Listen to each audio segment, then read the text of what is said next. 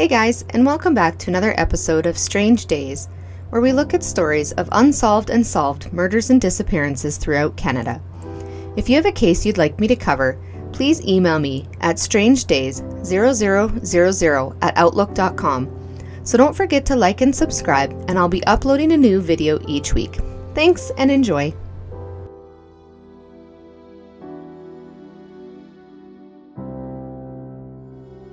The Monmouth County Jane Doe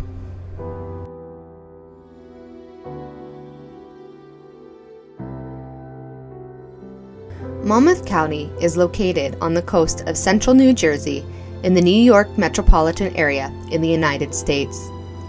The county is a popular spot with expensive homes along the shore with beautiful beaches and boardwalks.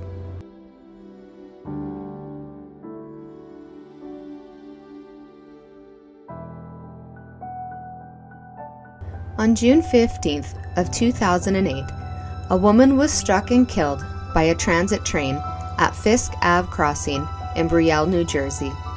The woman had no identification on her, and the state police are asking for help in identifying her.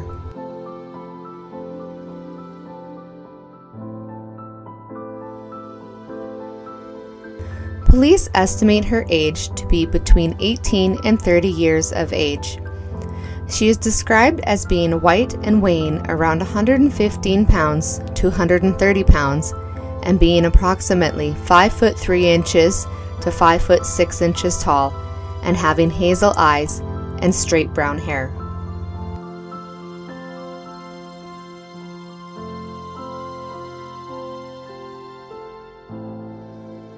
At the time of her death, she had short fingernails that were painted silver with white diagonal stripes on them.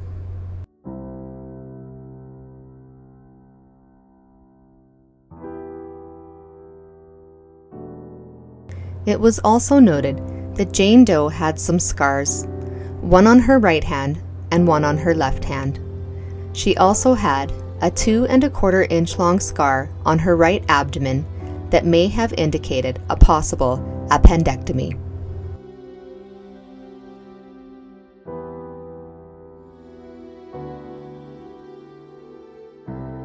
When she was struck by the train, she was wearing white Adidas sneakers with three black stripes on them, along with white socks and light green underwear.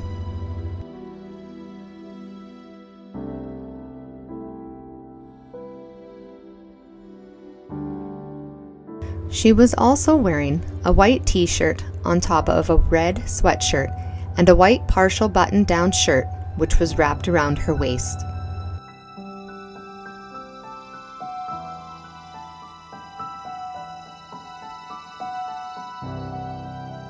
Jane Doe also had a wooden bracelet that had religious icons on it and a blue rosary style necklace. There was a sun hat with blue flowers and a blue and yellow scarf that had yellow flowers on it, as well as a black and white bandana.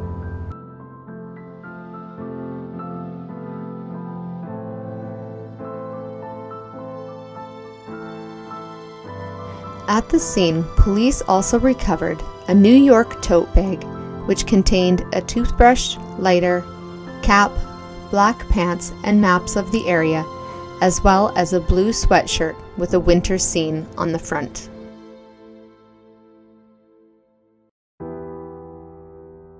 DNA, dental, and fingerprints are available and police have released a facial reconstruction sketch in the hope that someone will recognize Jane Doe.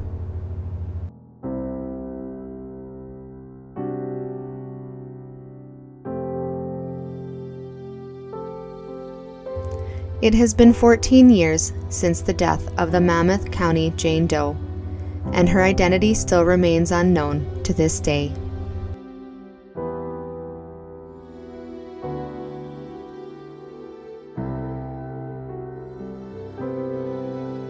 If you have any information on the Monmouth County Jane Doe, please contact the New Jersey Transit Investigation Bureau at 1 973 491 8634.